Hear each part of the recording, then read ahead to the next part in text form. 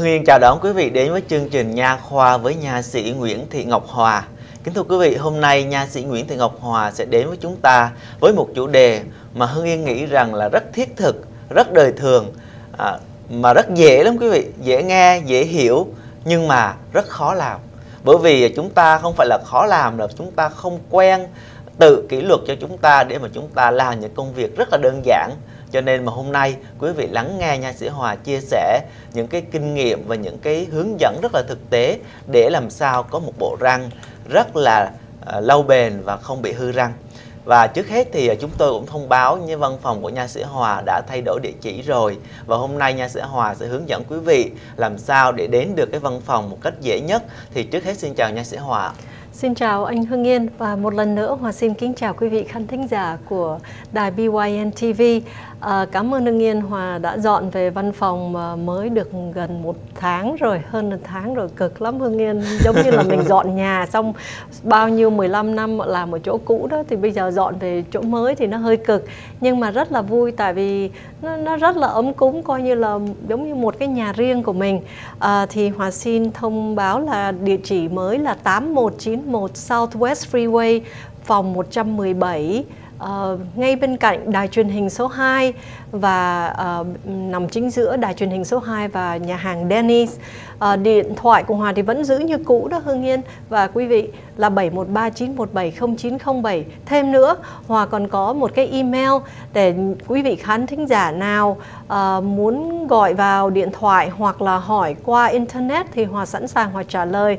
Nhưng mà Hòa trước khi vào đài anh Hương Yên nói Hòa nên tìm một cái địa chỉ email làm sao uh, cho nó dễ dàng cho người Việt uh, để để gọi hoặc là nói chuyện với Hòa thì Hòa sẽ lần sau lần tới Hòa sẽ tìm một cái cái địa chỉ nào rất là dễ nhớ cho quý vị và khán thính giả. Dạ vâng. uh, trước cái khi... này kính thưa quý vị là chúng tôi hồi nãy chúng tôi có giới thiệu với quý vị cái chủ đề ngày hôm nay đó là những thói quen mà chúng ta thường mắc phải để gây ra chứng hư răng đó ảnh hưởng tới răng miệng của chúng ta nhưng mà à, trước khi vào đó thì Hưng Yên à, biết được nha sĩ Hòa có một số những cái câu hỏi từ bệnh nhân à, để đặt vấn đề cho nha sĩ Hòa. Thì hôm nay mời nha sĩ Hòa chia sẻ cùng khán giả của đài.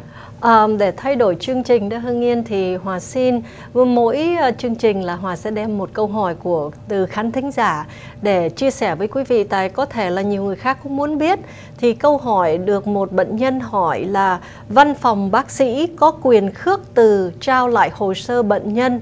Nếu người bệnh nhân đó chưa thanh toán cái số tiền còn nợ chữa răng thì um, để Hòa trả lời là văn phòng bác sĩ không có quyền khước từ bất cứ một ai. Uh, những cái hồ sơ bệnh nhân nếu mà người đó chưa thanh toán số tiền còn nợ uh, không những nữa văn phòng phải trao cho hồ sơ uh, cho người bệnh trong vòng 30 ngày kể từ ngày mà mình xin cái lá thơ hoặc là xin bằng miệng là mình có 30 ngày để đưa hồ sơ đó uh, cái điều mà quý vị nên biết là văn phòng uh, bác sĩ hoặc là nha sĩ họ có quyền đòi hỏi cái lệ phí để sao lại hồ sơ như là um, hồ sơ viết tay, hồ sơ X-ray thì những cái đó họ họ có quyền họ xin cái số tiền chi phí để trang trải những cái cái vật dụng mà xài trong văn phòng. Uh, một điểm khác nữa là bệnh nhân chỉ có quyền xin cái bản sao thôi quý vị. À, nghĩa là bản phụ thôi còn cái bản chính thì cái đó là sở hữu của văn phòng. Thì có nhiều người bệnh nhân không có hiểu cứ đòi bản chính nhưng mà bản chính nhiều khi đưa tới những cái kiện tụng thì người nha sĩ họ phải giữ cái bản chính đó. Hoặc là nhiều khi có người um, qua đời thì những cơ quan họ xin cái hồ sơ. Nếu mà mình đưa bản chính thì dĩ nhiên uh, cái người bác sĩ đó sẽ không có giấy tờ. Nói về cái lệ phí thì cũng có um, một thân chủ hỏi uh, hỏi hòa là uh, thí dụ mà văn phòng họ xin cái số tiền để trang trải uh, lệ phí để sao lại hồ sơ bệnh lý thì uh, là bao nhiêu? Tại vì cái người bệnh nhân đó phải trả tới 200 đô lượng hương yên. Thì Hòa nghĩ cái đó nó hơi mắc. Thì Hòa có lên mạng lưới của Ủy ban Thanh tra. Hòa xin làm một cái slide để cho quý vị thấy là cái lệ phí phù hợp um, next slide là cái reasonable cost dụ uh, mà trong cái quy luật của Ủy ban Thanh tra 108.8 họ có ghi rõ là cái số tiền là phải trả bao nhiêu? 25 đồng là hồ sơ viết tay 15 đồng cho bộ hình x-ray 5 đồng cho một tấm hình x-ray nhỏ nhỏ chứ không có tới tới 200 đồng. Hòa nghe có một văn phòng nha sĩ đòi tới 60 đồng cho một tấm wow. hình x-ray. Thì không phải là cái số tiền này mình muốn chạc sao thì chạc nhưng mà đã đã ghi rõ trong cái quy luật um, và khi mà một người bệnh nhân xin hồ sơ và um, một lần nữa không có văn phòng nào uh, được khước từ cái cái lời thỉnh nguyện đó và nếu không thực hiện công việc sao lại hồ sơ đó thì cái mà um, gọi là vi phạm hành tránh đó hương yên là là administrative penalty um, là không thực hiện cái công việc sao lại hồ sơ bệnh lý đó thì dĩ nhiên cái văn phòng đó sẽ bị phạt liền 500 đồng tiền phạt. Đây là theo cái quy luật 107.202 trong Ủy ban Thanh tra. Và nếu quý vị uh, có câu hỏi hoặc là vấn đề khó khăn trong tất cả các uh, dịch vụ trong nha khoa, quý vị có thể lên website của Ủy ban Thanh tra Nha khoa đó là www tsbde.state.texas.us hoặc là mình ờ, gọi số điện thoại toll free có ghi sẵn trên màn ảnh. Hoặc là nếu quý vị um, trong uh, thành phố Houston mình cũng có thể gọi tới hội đồng peer review là 713 961 4337 đây là một cái cái uh, cơ quan là uh, có nhiều nha sĩ và 3 năm trước mà đã serve trong này thì những người bệnh nhân họ có thể gọi vào để uh, than phiền than trách về vấn đề gì đó thì cũng có những người nha sĩ Việt Nam ở trong cái hội đồng này. Dạ vâng. Cảm ơn nha sĩ Hòa. Kính thưa quý vị, rõ ràng là một câu hỏi tuy đơn giản thôi nhưng mà chúng tôi thấy nha sĩ Hòa đã đưa ra những câu trả lời xúc tích nhưng mà rất là chi tiết từ giá cả cho tới quyền lợi hợp pháp và địa chỉ liên lạc. À, chúng tôi nghĩ rằng là mấy phút vừa qua thật là bổ ích khi mà một câu hỏi được nha sĩ Hòa giải đáp tường tận như vậy và mong rằng quý vị đã có những thông tin rất là thiết thực đó để mà khi cần quý vị có thể nhờ đó mà biết cách làm sao. Và bây giờ thì chúng tôi quay lại cái chủ đề ngày hôm nay, đó là chủ đề mà những thói quen không có tốt mà ảnh hưởng tới răng miệng của chúng ta thì trước hết là cái gì là phổ biến nhất thưa ờ, nha sĩ Hòa? Hòa nghĩ khi mà Hòa làm cái chương trình này đó anh Hương Yên và quý vị thì có nhiều cái thói quen mà chính Hòa Hòa cũng không có gạt bỏ được thì uh, nó làm hư cái bộ răng của mình nhưng mà uh, thì biết mình biết người thì mình làm cái cái gì mà nó hại cho mình thì mình đưa cho người bệnh nhân để để phòng bệnh hơn chữa không bệnh. Không biết có cái nào mà dính Hương Yên hay cũng hay làm không biết. Đã nói thói quen thì thường uh, phổ biến ai cũng dễ mắc phải phải không ạ? Yeah, dạ, nhưng thì mà nhưng mà tất cả đến nỗi Hòa cũng phải chịu lỗi tại tôi lỗi tại tôi lỗi tại tôi mọi đàng.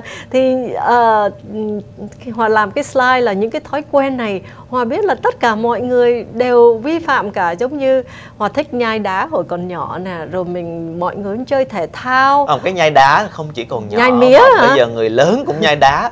Chúng ta ăn cái gì mà có tí đá mà nhỏ nhỏ nhỏ nhỏ chúng ta nhai vẫn thấy ngon. Nhất là đá siro đó phải dạ, khi, khi mà đi hội chợ đó. À, hoặc là quý vị thấy ở trên màn ảnh đó là những cái uh, những cái thói quen mà có thể làm hư hỏng cái bộ răng thì uh, Hòa xin uh, dần thì giờ để giảng từng một chi tiết một thì um, cái đầu tiên đó là cái vấn đề nhai đá. Giống như hòa nói chuyện với hương yên khi mà làm cái đề tài này bảo chị hòa ơi em thích nhai mía. Nghĩa là cái gì mà nó cứng mình thì mình cũng thích mấy cái đòn mía nó ngọt. Dạ, thì vâng. nhất là mía hấp việt nam họ vẫn còn nhớ cái mùi vị dạ, đó hương yên hiểu dạ. nhưng mà cái nhai đá nhất là đá siro hoặc đá vụn con của hòa cũng thích. Um, lâu lâu thỉnh thoảng thì mình nhai thì được nhưng mà nếu mà nó là một cái mà um, lượng ngày nào cũng ăn hoặc là cái cái cái habit nó là những cái thói quen nó sâu thì, răng nó phải không chị ha? Sâu thì hoàng nghĩ không nghĩ sâu nhưng mà có thể là nó bị mòn răng. Quý vị thấy là mòn răng nè bị mẻ răng nè đá thì dĩ nhiên nó sẽ chắc hơn uh, well không biết cái nào chắc hơn thì quý vị có thể thử có cái nào nó chắc hơn cứng rắn hơn. Nhưng mà nhiều khi mình nhai đá có thể đưa tới cái tình trạng mòn răng mẻ răng gãy răng. Đây hoặc cũng một lần nữa khi mà soạn những cái đề tài này đó hương yên hoặc cũng học hỏi nhiều là những cái người mà nhai đá cũng có thể đây là một cái triệu chứng thiếu máu. Vậy iron deficiency anemia. Hoặc thật là hoặc, hoặc rất là bất ngờ khi mà uh, soạn cái này là hoặc không có biết đây là một cái triệu chứng iron deficiency nghĩa là, là cứ triệu thiếu chứng máu là thích. thích nhai đá Ờ. đó là trong những cái uh, trong những cái dữ kiện của y khoa người ta nói hễ mà đứa bé hoặc người nào thích nhai đá coi chừng cái đó là một cái triệu chứng uh, thiếu máu chất uh, chất kẽm chất sắt đó, dạ, iron vâng. deficiency kính thưa quý vị thì uh, tiện thể cái vụ mà nhai đá đó hương yên hỏi luôn uh, nha sĩ hòa một tí là chúng ta thường đi nhổ răng về chúng ta chảy máu đó thì chúng ta thường nghe nó là ngậm cục đá vào để cho nó đông máu lại cái này là coi chừng sai đó quý vị thì bây giờ tiện thể nhà sĩ hòa hỏi luôn cái này là chúng ta cứ nghĩ rằng là ngậm cục đá vào trong nó nó lạnh là nó sẽ đông lại thì có đúng không ạ? Đúng hương yên nhưng mà uh, đá thì is good tại vì mỗi lần hòa mổ xong thì hòa có cho bệnh nhân ở trong văn phòng mỗi người một bịch đá để trường ở ngoài thôi. Còn nhai một cục đá làm sao? Ngậm cục đá. Khi mà ngậm cục đá đó thì dĩ nhiên cái lạnh á nó sẽ bóp những cái mặt máu nhỏ li ti lại nó không cho chảy máu nữa Hòa cứ nghĩ tới cái cái ngày xưa mẹ Hòa còn sống, mẹ Hòa làm cái đĩa tiết canh. Dạ vâng. Để cho nó đọng vào, mẹ Hòa bỏ mấy cục đá vào. Dạ vâng. Bỏ mấy cục đá tự nhiên cái cái máu cắt đông từ cổ con vịt nó đông lại ngay. Thì Hòa khi mà Hòa mổ Hòa nói bệnh nhân phải chườm đá thật là nhiều, càng chườm nhiều thì người ta đỡ sưng, đỡ chườm sưng bên người... ngoài đó thì chườm bên ngoài còn có có vài người bệnh nhân họ khi mà bà Hòa bảo chườm đá thì họ lại ngậm nguyên một cục đá vào miệng thì nó rất là buốt. Dạ vâng. Maybe nó buốt răng thì nó không thấy cái chỗ mổ đau phải không? Dạ. cái đó thì Hòa không có Hòa không có suối nhưng mà chườm đá thì it's it's very good. Dạ vâng. Very nhưng good. mà Hưng Yên á thì riêng Hưng Yên thấy là coi chừng chúng ta ngậm cục đá vào nó không những là đo, không đông lại mà nó còn chảy máu thêm là bởi vì khi mà chúng ta ngậm cục đá vào đó thì nước nó xúc cái chỗ đó thì nó máu nó Đúng. không có tụ lại vết thương chúng ta đông máu là nhờ cái vết máu nó tụ ngay chỗ vết thương đó để nó bịt cái lỗ đó lại để cho nó khỏi bị đông nhưng mà chúng ta ngâm ngậm cục đá vào rồi không khéo á nó lại không đông mà nó còn tan chảy cái máu cái chỗ cái vết thương nó ra thì nó càng chảy máu nữa cho nên chúng ta chú ý làm theo nha sĩ chứ chúng ta không sáng tạo thì mới chuyện đó bây giờ là mời nha sĩ tiếp ừ. theo ạ à. à, cái kế tiếp là mình cứ hay có cái thói quen mình dùng răng cho đủ mọi cái công việc mẹ Hoàng ngày xưa là cứ khâu áo cho con á, thì lại dùng để cắn cái chỉ giống như quý vị thấy trong hình là những người là... mẹ hoặc uh, rất phổ biến. rất là phổ biến đó. Thì đó họ nói là những cái thói quen mình có thể mình làm làm cho hư cái bộ răng của mình. Hoặc là cái cô đó cố mở cái bịch uh, kem đánh răng ra cũng lại bằng cái, cái răng cái, cái cái cái chiếc răng của mình. Hoặc là hoặc cũng có một một bà bệnh nhân họ nhớ là bà mở cái chai bia hoặc chai xá xị đó. trên hình có. Trên xá xị bằng bằng giống như cái nút ở Việt, Việt Nam mình có những cái chai xá xị như vậy. Dạ vâng. và họ mở bằng cái răng rồi th- bà tới bà mất luôn hai cái răng cửa. Mình hỏi chứ xin lỗi cô cô làm sao cô? Ồ tại vì tôi lỡ tôi tôi mở cái chai xá xị bằng cái cái cái cái cái, cái hai cái chiếc răng của tôi. Uh, cái well, kính thưa quý vị rằng nó là có nhiều chuyện khôi cái hài đó đó cái đó là hoàn toàn chúng ta gặp được. Thực ra cũng mới đây thôi à, mà trong cái loại thuốc mà thuốc cảm đó chứ nha sĩ à. có cái loại mà trong từng hai viên một trong cái cái gói ly lông nó dán kín lại Đúng đó rồi. thì đem đi học hay đi làm rất là tiện tuy nhiên mà đôi khi mà mới đây thôi hưng yên lại cần dùng tới nó thì lại nhìn quanh nhìn quẩn thì không không thấy cái kéo đâu hết mà bây giờ chỉ không còn dụng cụ nào á mà dùng răng thì nó mới có giải quyết được vấn đề tuy nhiên nhớ lại thì không nên dùng răng cho nên chúng ta thấy mọi khi mà chúng ta cần tới chúng ta phải nhớ chú ý là bảo vệ hàm răng chúng ta răng là vàng. Đúng rồi tại răng đúng là vàng tại vì nó mà mất đi hai cái răng cửa là là tốn cả cả lượng vàng dạ vâng không phải dễ đâu dạ. hàm răng là vàng á. Dạ ờ, cái kế tiếp là cái thói quen mà hòa thấy nhiều ở trong các em học sinh hoặc sinh viên cái là nhai cắn cái đầu bút chì. Ờ, dạ vâng.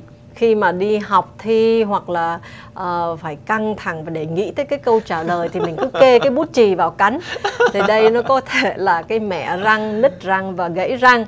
Đó quý vị Chưa thấy cái mất vệ sinh rồi phải không ạ? Uh, mất vệ sinh nhưng mà nếu mà đừng chỉ có một người cắn thì không sao tại cái đó là vi trùng của mình. Nhưng mà hết người này cắn người kia cắn thì cái đó là mình mình truyền bệnh rồi. Thì khi mà nhai cắn cái đầu bút chì nó sẽ thứ nhất là nó sẽ làm cái mòn cái răng cái răng cửa đằng trước. Tại vì lúc nào cũng kê vào hai cái răng mấy cái răng cửa trên và răng cửa hàm dưới. Thì có có thể đưa tới cái tình trạng mẻ răng, nứt răng và gãy răng. Nhưng mà nha sĩ Hòa có đồng ý với Hương Yên, quý vị đồng ý với Hương Yên rằng là khi mà cắn bút chì đó, nó không chỉ mòn răng, gãy răng, mẻ răng mà nhìn nó xấu. Là bởi vì nhìn là thấy đang bí cái chuyện gì. Chẳng hạn như là thi á, người ta nói là ngậm bút á có nghĩa là bí không biết làm là ngậm bút cho nên chúng ta cắn bút chì là thể hiện chúng ta đang bí. Đúng là đang bí. Yeah. à, cái kế tiếp là quý vị biết là nhiều uh, con trẻ của mình chơi những cái đồ chơi thể thao hoặc là nói gì thì con trẻ nhiều khi uh, đi chơi bóng truyền hoặc là chơi uh, những cái đá banh hoặc soccer thì nếu mà mình chơi mà mình không để ý tới uh, không bảo vệ cái hàm răng khi chơi những cái thể thao mà mà mà hút hoặc là đánh đồ vật á, thì một lần nữa có thể hoặc là trong cái hình này là hockey player cái ông mà bị gãy cái răng cửa đầu ờ, hình dưới tay phải đó thì một lần nữa khi mà mình không bảo vệ cái hàm răng thì đưa tới những cái tình trạng mòn răng mẹ răng gãy răng mất răng nói gì không cần phải chơi thể thao đâu hoặc có cái đứa cháu gái nó chơi bịt mắt bắt dê thôi mà khi mà bịt mắt bắt dê nó đi nó tìm mấy con em của nó nó tông vào cái cột basketball gãy dạ, luôn vâng. hai cái răng cửa thành dạ, thử vâng. ra you know, cái dạ vâng nhưng tới. mà cái này á nha sĩ Hòa nói là chơi thể thao hay là đi chúng ta té vào thì chúng ta gãy răng nhưng mà à, chơi thể thao cũng có cái món gọi là lấy dùng có răng mà cắn lỗ tai á. Mai tay sinh cho nên là cũng không nên cắn mềm cũng không nên phải không ạ? Nhưng mà cắn thì đừng cho trọng tài người ta thấy người có gì người bị phạt phải không dạ vâng. Um, thì để bảo vệ cái hàm răng của mình khi mà chơi những cái thể thao mà hô hút như vậy đó thì thường thường những người bác sĩ nhi đồng hoặc là những người nha sĩ đó họ khuyên là mình nên đeo cái mouth guard uh, xin lỗi quý vị Hòa không biết tiếng Việt nó gọi là cái gì để bảo vệ. Đây nó là chỉ là một cái miếng mà nylon hoặc là plastic cứng đó. Nó football hay chơi đó dạ yeah, football hoặc là hockey player hoặc basketball. Anh này là cầu thủ của basketball player. Anh đang ngậm một cái cái mouth guard tại nhiều khi bị cái, cái cùi trỏ người ta hút vào hay là gì đó. Thì cái miếng này sẽ bảo vệ cái bộ răng ở trên hoặc là khi mà Hưng Yên chơi mà mình căng quá mình mình gây cấn quá đó thì mình cũng nghiến răng. Thì nó có cái miếng này nó bảo vệ cái hàm răng mình ở trên. Khi mà mình nghiến răng thì mình chạm vào cái miếng plastic đó oh. chứ không phải là răng đụng với răng. Nó yeah. sẽ mòn răng hoặc nghiến răng. Tại vì nó còn một cái trường hợp nữa. Next slide. Là uh, khi mà người ta căng thẳng quá cái tình trạng nghiến răng khi mà mình căng thẳng khi làm việc hoặc là mình trong cái tình trạng mà trong cơ sở hoặc là uh, sự sống nó hơi căng thẳng thì mình hay nghiến răng. Hoặc là có những người họ rất là anxious nghĩa là họ lo lắng hoặc là họ bị cái bệnh trầm cảm chán nản thất vọng đó hương yên. Hoặc là trầm uất thì họ hay có cái uh, cái tật là nghiến răng. Hoặc là những người có nhiều người chỉ nghiến răng khi ngủ thôi. Tiếng anh nó gọi là nocturnal bruxism thì uh, khi mà họ bị như vậy uh, mới hôm qua mình cũng có một bệnh nhân tới mà họ không có biết là khi mà mình nghiến răng nó đưa tới cái hậu quả nào cái chị đã chỉ bảo chứ phải chim nha sĩ uh, cái cái người nha sĩ chỉ làm cho tôi cái mouth guard mà không giảng cho tôi tại sao phải làm như vậy. Thì mình nói giống như là cái cái cái đĩa thắng đó hưng yên đạp chân vào cái bàn thắng. Thì cái hai cái đĩa mà metal nó không chạm vào với nhau nhưng mà nó có cái metal à, dạ mình vâng. cái miếng mà uh, nylon nó ép vào thành ra nó không có tóe lửa ra đúng không? Dạ vâng. thì cái răng của mình giống như xương của mình vậy. Những cái đầu xương hoặc khớp xương nó đều có cái gọi là cái um, cái meniscus hoặc là cái miếng mà nó nó chính giữa mà nó có cái fluid. Thì để khi mà hai cái đầu xương chạm với nhau thì uh, nó có cái miếng plastic ngay chính giữa để bảo vệ những cái xương sống xương uh, đầu gối xương cùi chỏ. Nhưng uh, mà kính thưa quý vị nha sĩ hòa nói tới cái nghĩa gọi là nghiến răng á. Nếu mà quý vị nào mà có dịp mà uh, ngủ tập thể trong cái trại hay là gì đó thì Hưng Yên chứng kiến có một số người đó là có cái bị cái chứng gọi là nghiến răng khi ngủ sợ lắm quý vị. Nghiến mà đôi khi chúng ta cứ tưởng tượng mà chất răng nó mòn hết rồi. Bởi vì nghiến mạnh như vậy nó ra nghe cái âm thanh rất là lớn cho nên nga nha sẽ hòa nó là mòn răng cũng rất là nguy hiểm khi mà chứng nghiến răng. Nhưng mà ngoài ra đó nha sĩ hòa hưng yên ừ. coi phim á mấy người miền bắc đây úi giời ơi đó, đó, đó. là nghiến ai đó là cái úi giời trời ơi. Thế là vừa nói vừa nghiến răng cái Đúng đó rồi. thì sao ạ? Cũng cũng có nhiều người họ họ họ nghiến răng như vậy. Tại vì giống như hòa nói những người mà bị trong cái tình trạng mà ờ, chán nản hoặc thất vọng hoặc là trầm uất gì đó hoặc tinh thần họ căng thẳng đó thì cái mà cuối cùng để họ chú ý là cái vấn đề vệ sinh răng miệng. Dạ vâng. Và khi mà mình có trong cái tình trạng đó quý vị biết là trong cơ thể mình sẽ um, produce nghĩa là sản xuất ra một cái cortisol và nó rất là hại cho sức khỏe. Thành ra khi mà cái vấn đề mà uh, bị bị căng thẳng như vậy thì dĩ nhiên cái vấn đề vệ sinh răng miệng là cái cuối cùng họ sẽ nghĩ tới. Và khi mà họ clenching như vậy quý vị thấy là trong cái hình trước đó là họ mòn hết răng đi rồi.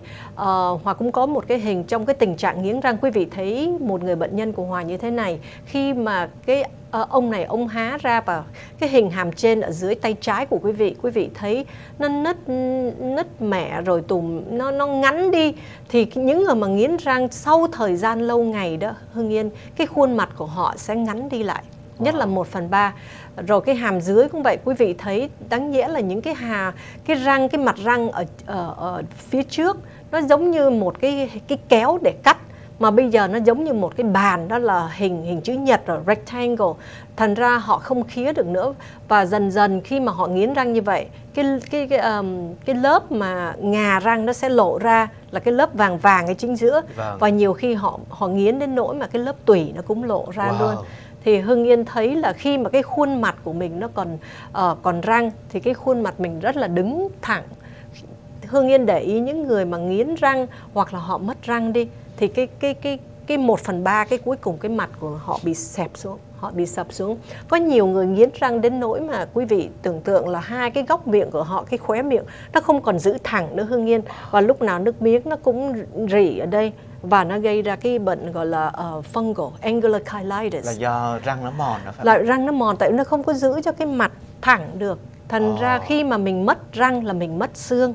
Mất xương thì dĩ nhiên cái mặt mình nó sẽ collapse Dạ vâng, như vậy nghiến Nó sẽ- răng nó sẽ cũng không phải đơn giản đâu quý vị. Không Nếu phải quý vị cũng phải đi gặp bác sĩ hoặc nha sĩ để giúp quý vị giảm bớt cái tình trạng đó. Để thành- thử ra khi mà Hương Yên có giận ai á đừng có giống Bắc Kỳ đừng có nghiến răng bảo ôi giời ơi Ôi giời ơi, bảo và rồi. để hôm nào mình làm cho Hưng Yên cái cái cái cái mouth guard để để Hưng Yên mà đi gặp ai ngoài cộng đồng mà ai làm cho Hưng Yên giận á Hưng Yên cứ xỏ cái đó trước rồi hãy muốn nghiến ở Dạ đâu vâng, thì nghiến muốn nghiến gì nghiến, nhưng sọ Dạ. đó vào trước trước khi nghiến. đúng rồi đúng rồi đúng rồi rồi kế tiếp là cái uh, cái uh, gọi là cái thói quen nhất là hòa phải khuyến cáo những người mẹ mà đang có con nhỏ. Tại vì uh, cái vấn đề mình có nói vào trong chương trình hình như năm ngoái về về bộ răng sữa thì hòa nghĩ có một số vẫn còn một số phụ huynh đó hương yên họ nghĩ rằng cái bộ răng sữa không phải là quan trọng Nó sẽ tại vì thôi. nó sẽ vì trước sau gì nó cũng rụng Dạ vâng. nhưng mà mình đã nói trong cái chương trình những chương trình ờ, vừa qua là cái bộ răng sữa nên được gìn giữ và bảo vệ cho tới khi đứa bé được 12 tới 14 tuổi vì nó rất là cần trong cái việc nhai cắn thức ăn nè phát triển khả năng ờm, phát âm đó ờ, speech development nè cái thứ ba nữa cái vẻ đẹp của bên ngoài và cái thứ bốn là bảo vệ và hướng dẫn những cái chiếc răng bộ răng thứ hai bộ răng thật vào đúng chỗ quý vị thấy trong cái hình mà x-ray nằm ở bên tay phải quý vị thấy những cái chân răng sữa nó dạng ra và ở dưới nó có những cái bọng ờ, có cái hình thù giống như răng đó Hương Yên Dạ vâng. đó là những cái chiếc răng thật nó đứng những cái chiếc Wow. răng sữa nó đứng để nó giữ chỗ Cho những cái răng nó để dành chỗ cho những cái răng răng người lớn sẽ ra tại vì nếu nó bị mất quá sớm có thể là cái răng người lớn nó sẽ bị bí và nó không có ra được tại vì cái chỗ đó nó sẽ khép lại và cái cửa giống như cái cửa thành nó bị đóng lại rồi Dạ. thành ra không nó không vào được trong miệng nữa Dạ vâng. À, cảm ơn nha sĩ Hòa. Kính thưa quý vị thì à, bây giờ thì chương trình cũng đã gần hết giờ rồi cho nên chúng tôi có lẽ rằng là phải ngắt lời nha sĩ Hòa ở đây để hẹn quý vị thêm một chương trình nữa à, nói về những thói quen mà làm cho hư răng của chúng ta à, nghe rất là dễ nhưng mà chúng ta nghe để mà chúng ta có thể tránh tránh càng nhiều càng tốt. À, quý vị đón xem chương trình kế tiếp nhé. Và bây giờ chúng tôi dành 30 giây để cho nha sĩ Hòa có đôi lời trước khi chúng tôi tạm biệt quý vị. Cảm ơn anh Hưng Yên và một lần nữa Hòa cảm ơn quý vị khán thính giả đã theo dõi chương trình của Hưng Yên và Hòa trong nhiều năm nay.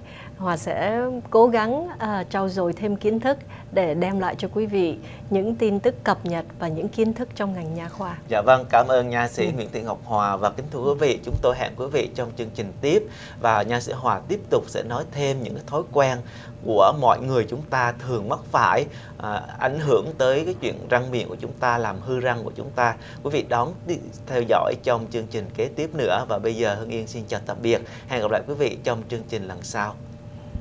Thank you.